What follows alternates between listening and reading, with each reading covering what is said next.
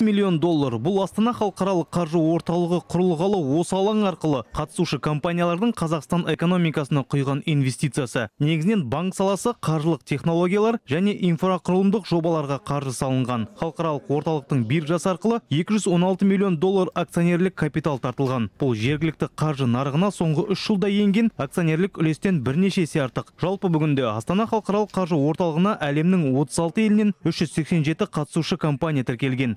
Қазақстандықтармен қатар ресей қытай ақш ұлыбритания және үндістан мемлекеттері инвесторларының саны басым жыл соңына дейін олардың қатарын еселеу көзделіп отыр. Ол үшін қатысушыларды қабылдайтын қолайлы экожүйе қалыптастырылып орталықты аймақтың басты қаржы торабына айналдыру жоспарланған.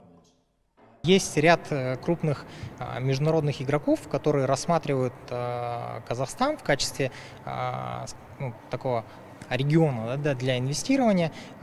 Қазіргі таңда бірқатар халықаралық деңгейдегі ірі ойыншылар қазақстанды инвестиция құюға аса тиімді аймақ ретінде қарастырып отыр. Қытай және батыс елдерінің бірқатар беделді ойыншылары еліміздің нарығына кіріп кәсібін жүзеге асырып үлгерді. 2020 жылдың соңына дейін астана халықаралық қаржы орталығының мүше компанияларының санын 500-ден асыруды жоспарлап отырмыз. Негізінен қаржылық сектор мен консалтингтік компанияларды тартуға басымдық беріледі.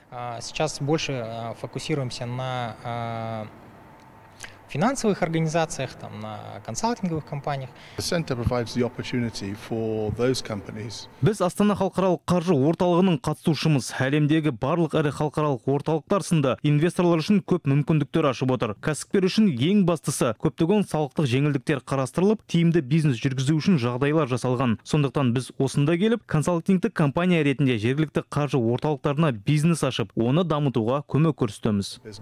Um, within the AFC and across the region.